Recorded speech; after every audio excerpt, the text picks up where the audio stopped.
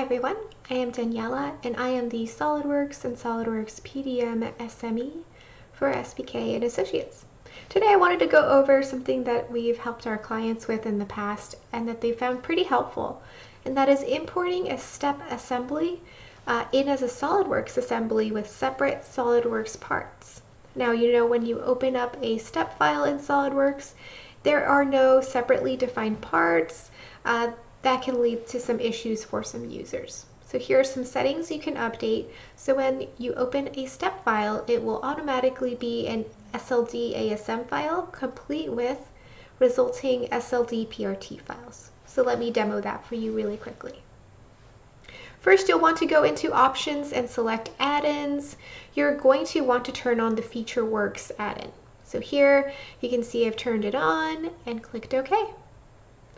Next, you're also going to want to go into your options and you're going to want to go to the import uh, button.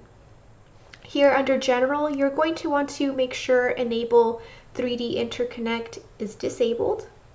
And you'll also want to check on import multiple bodies as parts. Let me go back there. Uh, these are the settings that are pretty important to have for this inside the general All right, so once we've completed uh, adjusting our settings, we can go ahead and open up our step file. Uh, just to preface this, I used a fun file from GrabCAD. A lot of the times you'll get separate files from vendors. Um, this was just a demo.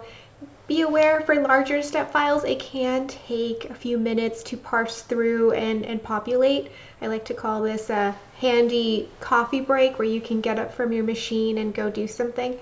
Um, again, it depends on the size of your, of your uh, file. Uh, this is very, very important. Uh, so the template window will show up. Uh, please click OK.